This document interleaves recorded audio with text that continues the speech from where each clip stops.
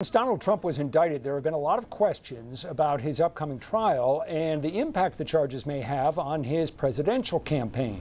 Recently, some social media users have said that Mr. Trump's case should be thrown out due to the statute of limitations. Here's Ariane Datil with what we can verify.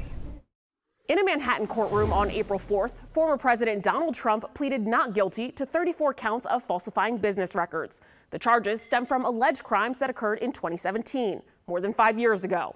On social media, some people say that the case should be thrown out because there's a five year statute of limitations for felony charges in New York.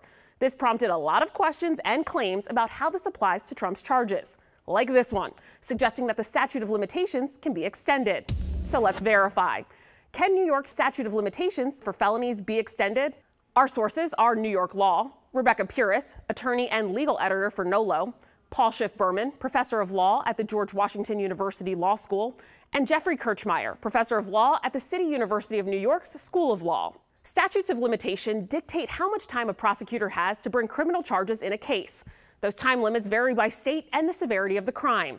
In New York, the statute of limitations for falsifying business records is five years. Attorney Rebecca Pirius says the clock starts when the crime occurs. So if Trump's alleged crime started in 2017, the clock should have run out in 2022. But under New York law, there are some exceptions that pause the clock and extend the statute of limitations for felonies, like if the defendant is not continuously present in the state, which legal experts suggest prosecutors could argue applied to Trump when he was in the White House from 2017 to 2021. And the governor can also issue an executive order to pause the statute of limitations, which then Governor Andrew Cuomo did during the COVID 19 pandemic.